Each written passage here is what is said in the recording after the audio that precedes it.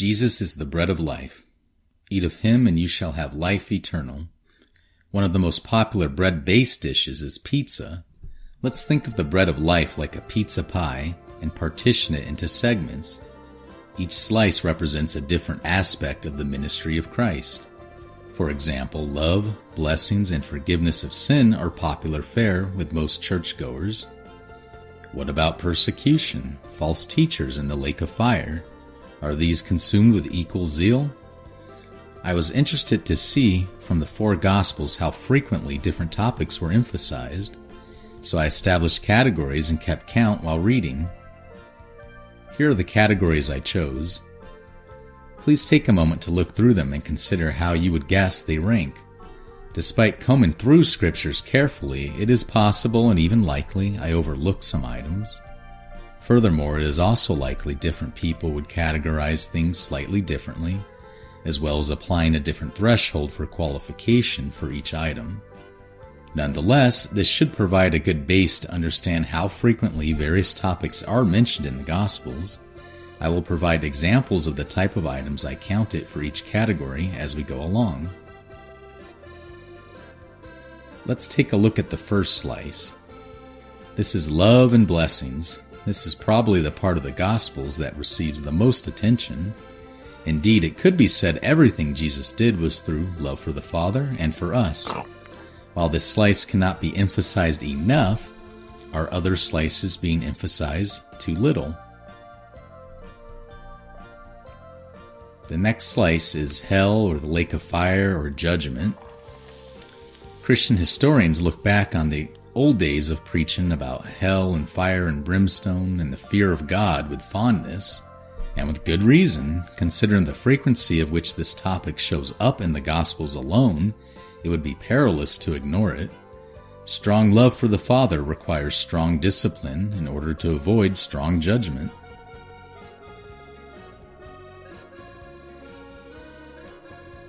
The next slice is saving us from our sins. This is the cornerstone of our faith. All else is dependent on this for it to not be in vain. We cannot save ourselves nor do any good thing without God.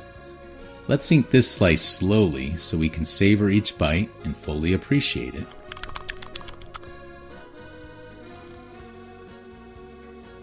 The next slice is condemnation and resistance of sin and temptation. This is the second biggest slice, yet one of the most dismissed. So many teachers focus on our sins being forgiven by Jesus as if it were a free pass to continue to sin. Instead, we are to walk in new life through His Spirit. Stop shouting, Your sins are forgiven, while whispering, Sin no more. And yes, we all stumble. Repent sincerely and get back up, but don't return to your old ways. The next slice is rebuking the wicked and beware of false teachers. Jesus referred to his opposition as thieves, swine, snakes, fools, hypocrites, and children of the devil, to name a few. In case you are wondering if only he had the authority to cast such judgment, John the Baptist also called them vipers. Today there are still many false church leaders, particularly famous ones, but if you point it out, even nicely, Get ready, unbelievably, to hear from the flock that Jesus would never say such a thing. Does anyone actually read the Bible anymore? This slice is well known and is a key focus of most church gatherings to glorify God and Jesus. Remember to seek to glorify God in all that you do, regardless of whether you are in church or not. We can show we love Jesus by keeping his commandments and seeking his spirit. Rejecting Jesus. This is the biggest slice of pizza in the whole box. Remember, the servant only shares the portion of his master. We are not greater than the one through which all things were made. Because the world hated and rejected him, it will hate and reject us too. The Gospels testify to this throughout. Be sure you don't fit in with the world. If you are not feeling the rejection yet, take heed, it is coming. The next slice is good works. The Gospels are full with references to good works. Many seem to preach that since we are saved by grace, works have no value. How deceitful! Faith without works is dead. Grace is the root of our faith, and works are the fruit a saved person will inevitably bring forth. Do you really think anyone who truly lives by his Spirit would return to him empty handed? Isaiah 55:11 reads, "So shall my word be that goes out of my mouth; it shall not return to me empty, but it shall accomplish that which I purpose and succeed in the thing for which I sent it."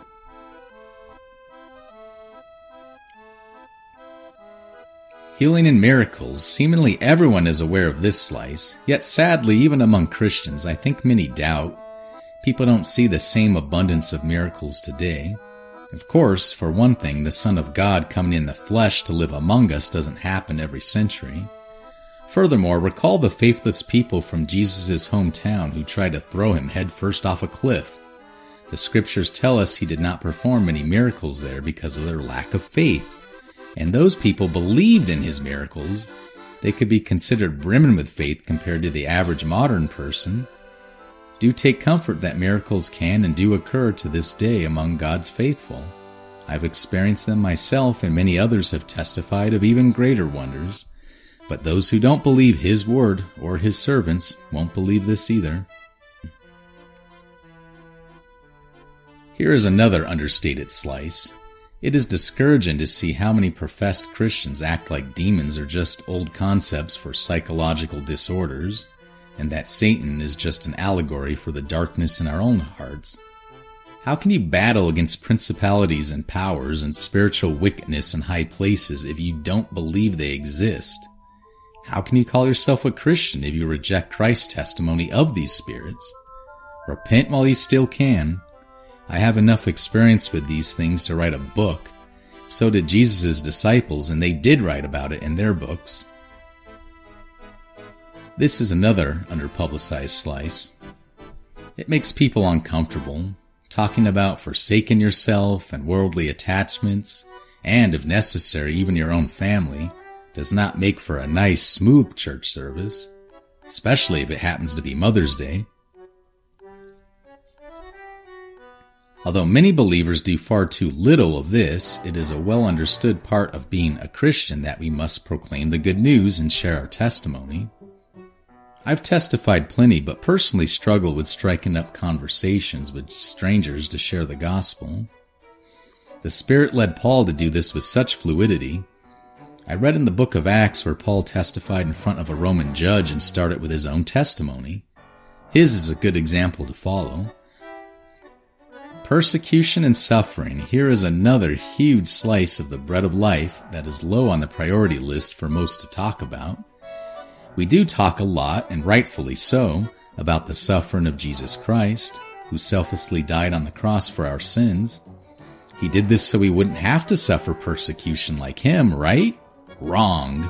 Sharing in the sufferings of Christ is part of our walk with him. We are now called to be willing to suffer and lay down our lives for Him in return. If we take this pizza pie and turn it into a pie chart, we can see all the different categories together. It is interesting to note that the three largest slices are rejection, not sinning, and suffering. These are not the most talked about items in most churches, but they are very important and are topics that come up very often. From there, we can see love and blessings and healing us, and other positive ones rank high as well. What do you think? Is this pizza pie divided the way you expect it? When looking at all the categories, are you prepared to eat the entire bread of life? Let us pray. Father, we praise you and offer our inexpressible gratitude for the gift of your Son, Jesus Christ, who willingly sacrificed himself to save us and to fulfill your will. We also thank you for the incredible blessings promised to those who endure to the end, which the Gospels reveal. We pray that you will strengthen us to withstand the trials and the tribulations that your word prepares us for. We also give thanks for these as we understand the fire refines us. Father, please help us to remember that all experiences, whether joyful or painful, are an invitation for us to draw closer to you. May we be blessed with your Holy Spirit to guide us to do your will for your glory. We pray together in the name of Jesus Christ. Amen.